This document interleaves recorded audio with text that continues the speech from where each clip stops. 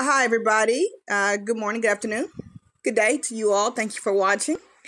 Um, in this, and please thumb up, please thumbs up if you like the video, or even if you don't, so that I can get better. Show me some support. anyway, um, in this video, this self-righteous Karen, and some of you might be Karens too, and might think that this was okay, but uh, this woman basically exposed a man for cheating to his wife. And keep in mind, she's an Uber driver who's paid to pick up and drop people off. Uh, the man didn't do anything directly to her.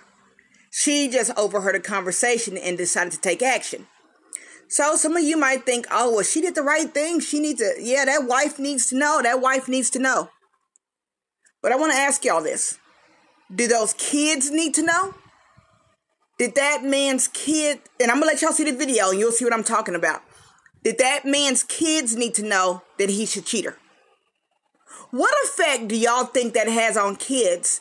The man didn't expose his kids. This woman dropped him back off with her self righteous ass, dropped him back off at his home with the mistress, where the kids were home.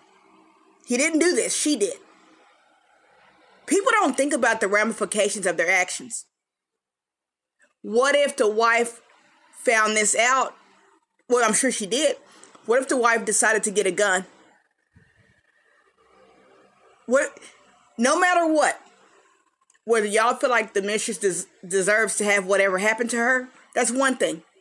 But then if a, if the wife were to see this, go completely off and make a life altering decision, the li- the wife's life would be ruined because something was thrown at her unexpectedly. The husband didn't sit her down and tell her the decision wasn't even his.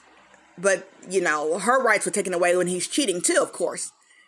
But when you decide to take matters into your own hands and do the so called right thing, you have to really use your mind and think about all the ramifications of it.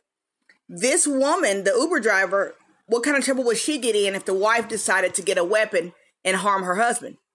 The wife would go to jail. She wouldn't be she wouldn't get off for that. All because the Uber driver decided what she was doing was right.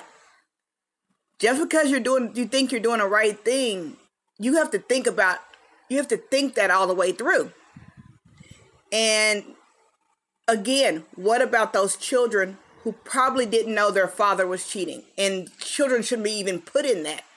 The lady says in the video that the kids were home. You knew this man's kids were home and you're going to expose them to that? You got to have some goddamn sense and can't, gosh, I keep forgetting to put it on Do Not Disturb. You have to have some sense and think about the ramifications of actions that you take, whether you think you're doing the, right thing or not. A lot of stupid people think they're doing the right thing, and a lot of bad things result from it. But y'all watch the video. Tell me if you think that this Karen made the right decision when she decided to step into a situation that was not her business.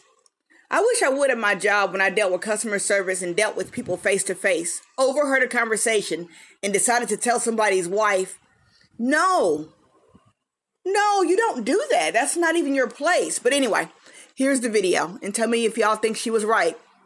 All right, listen up, all you cheaters.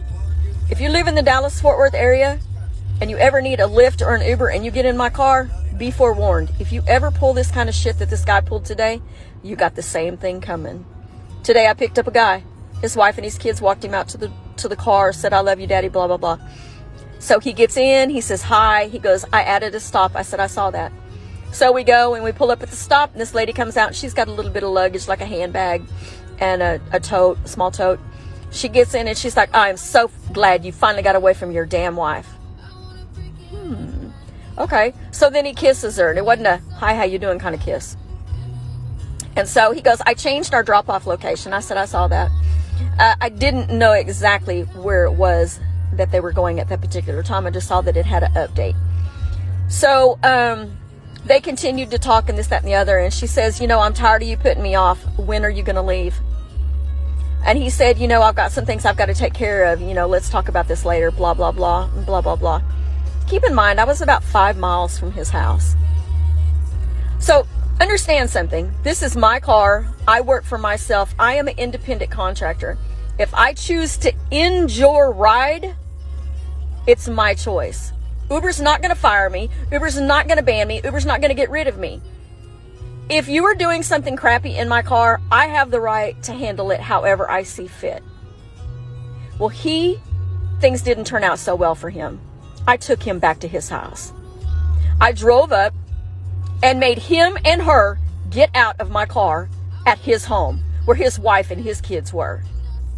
There was no other way this